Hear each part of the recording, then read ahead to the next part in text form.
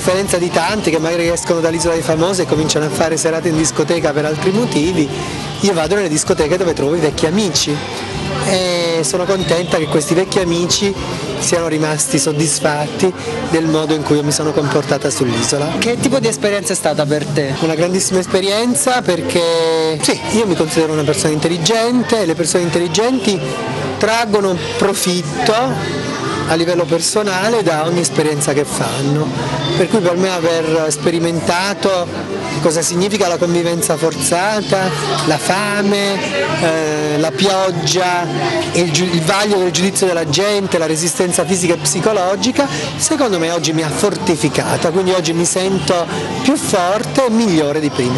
Ho scoperto di essere una persona con una grandissima fantasia e con grandissime risorse che sempre quando ha un problema non si sottomette mai al problema ma reagisce al problema lo affronta.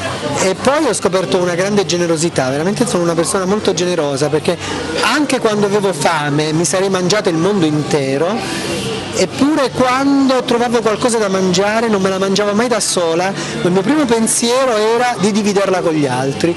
Questa cosa, devo dire, mi, mi ha fatto molto piacere scoprirla di me. Un ricordo piacevole, il più piacevole dell'isola e un ricordo invece sgradevole, qualcosa che avresti preferito evitare?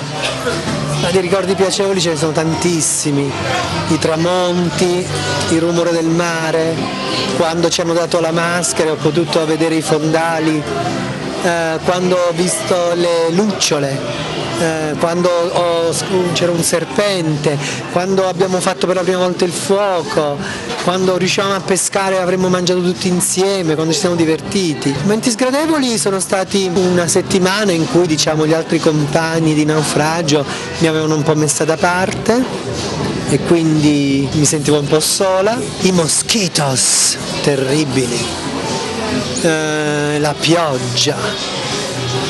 Ah!